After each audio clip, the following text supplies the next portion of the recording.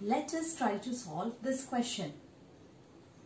Are 1 upon 2 and 3 upon 7 equivalent fractions? How can we find whether they are equivalent fractions or not? You know the procedure to find the equivalent fraction. In order to find equivalent fraction, you need to multiply numerator and denominator by same number. Now children, look at this fraction. 1 upon 2. What do you think? By multiplying with which number you will be able to get 3 in the numerator?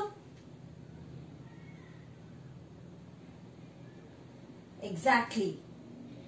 When we multiply both, so when are multiplying 3 with 3 on the numerator, you also need to multiply denominator by 3.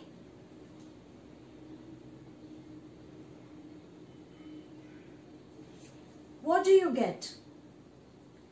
1 threes, 3 upon 2 threes, 6. Right?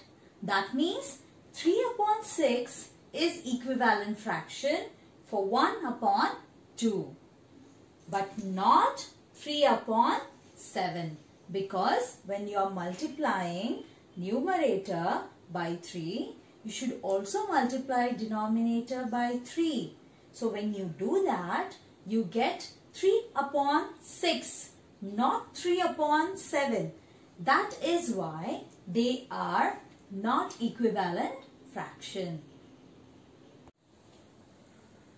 let us look at the next example which is little different. Look at this question. 5 upon 6 is equal to this fraction. But here, numerator is missing. We need to find out what is the numerator of this fraction. Well, it's very clear that these fractions are equivalent fractions. Right? Now, when you take this fraction and multiply both numerator and denominator by same number, you will get equivalent fraction. That's what we have seen in the previous example. Now let us take this fraction. Before multiplying numerator and denominator by same number, look at here.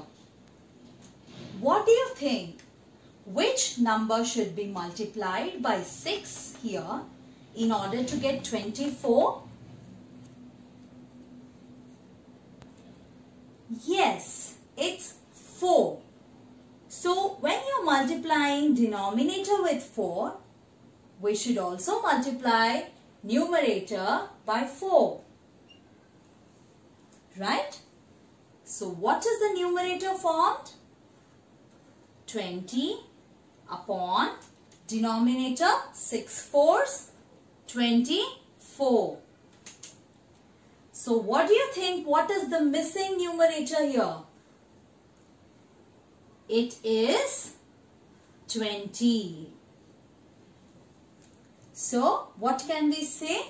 With the help of equivalent fractions, by with following this procedure, we can also find the missing numerator or denominator as we multiply both numerator and denominator by same number. Children, we can also obtain equivalent fractions by dividing both numerator and denominator with same number. Let us see how. Uh, I will take one fraction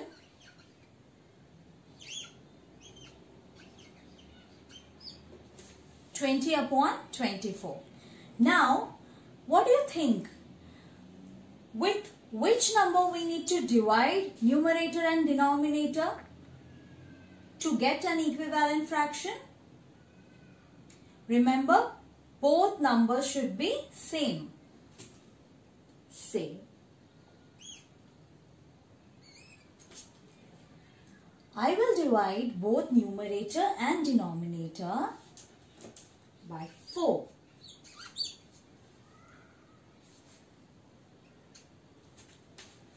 What do you get when you divide 20 by 4?